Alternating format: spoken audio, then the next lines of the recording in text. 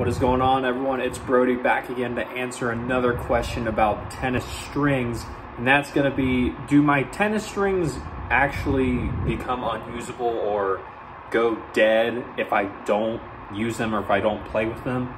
And I'll tell you, depending on the type of string, that's going to change the answer. So, with polyester strings, those ones being the hardest, they will typically tend to last the longest in the racket without being used because they because with them being a harder string it's a lot easier for them to maintain tension because they don't necessarily get as affected by the elements whether it be the weather the just the sunlight in general or just any other factors that may be getting onto the strings.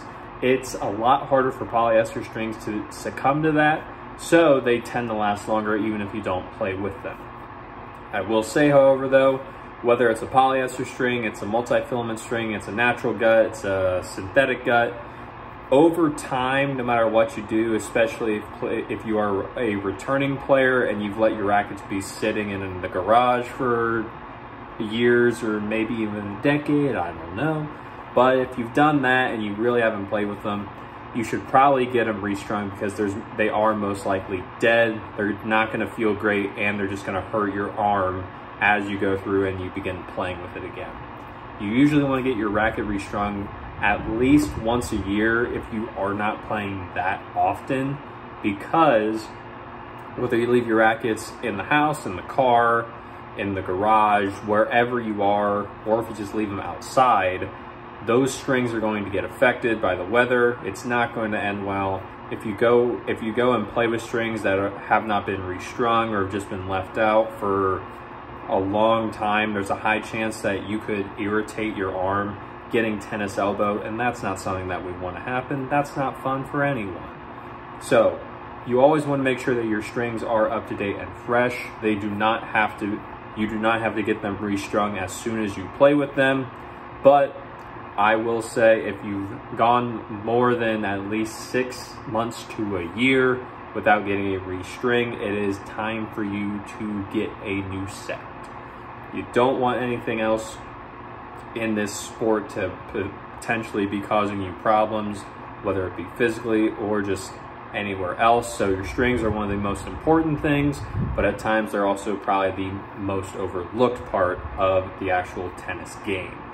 Now, I talked a bit about polyesters. I will say natural gut strings, these strings are the hardest to maintain because of how susceptible they are to everything. If you leave natural gut out in the cold, you're gonna ruin it. If you leave natural gut out in the rain, you've ruined it. If you leave natural gut out anywhere and it's not in like a basically room temperature room at all times, you you can play with it in different climates, but if you just store it somewhere that isn't like regular room temperature, you're gonna ruin it. And then you're gonna be out 40 to sometimes $60 on a natural gut set. No one likes that, it's not fun, so just don't do it. Natural gut you don't necessarily need unless there are a few certain instances like you have the money, you don't care, you just want it. Or if you have if you have to have the most soft and most easy on your arm string, natural gut would be the way to go. However, it's extremely hard to take care of, so it's kind of the catch-22. It's like, it's amazing for what it needs to do, but it's awful for trying to keep it alive. You have to restring it a lot more just because of how many different things can go wrong with it.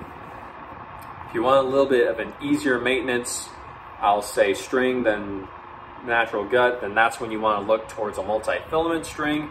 The multi-filament strings, they do very well. They're just kind of like the cheaper version of natural gut. That's not a knock on multi-filament. It just makes softer strings more available to us players who do not want to or do not have the budget to go spend on natural gut strings every time we get restrung. Because a lot of people, some of them are even stringing two to three times every three weeks and if you do that, if you do that math on a natural gut pack, say you get it strung once a week for $50, if you do that over long enough times, it's just a, not a pretty number.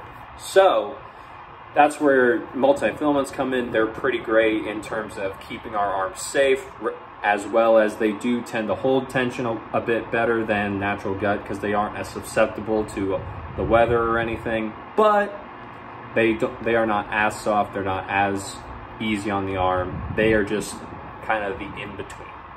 And then synthetic guts, those ones, uh, you probably, if you have strings in your racket that you haven't used for a while, so there's a high chance I'll say that it might actually be synthetic gut strings that are in your racket. So synthetic gut strings, they don't really do much. They just go into the racket so you can see what's going on, see how you play with the racket, see what the racket does for you.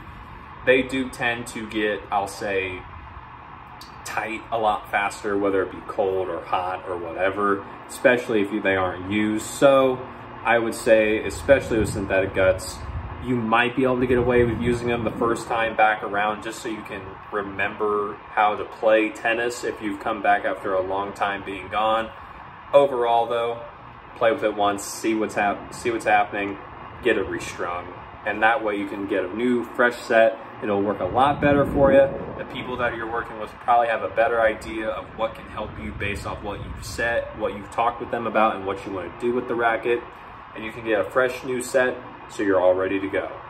Now, with that being said, if you liked the video, leave a like on it. Comment down below any more questions or concerns you may have so that I can get back to you and answer any questions. Subscribe to the channel so we can grow this channel and get more of this information out to the people who need it. There was a lot of misinformation going around in the tennis community, so I took it upon myself to make this channel and to make sure that we get the information from the people who have it to the people who need it, rather than just let someone say something that they think is right when it actually could be harmful to everyone else. So, with that being said, like the video, leave a comment down below, subscribe to the channel if you got any value from this, share this video with a friend if you think that they are wanting to get back into tennis or you guys played many years ago and you want them to get back in. And as always, take care.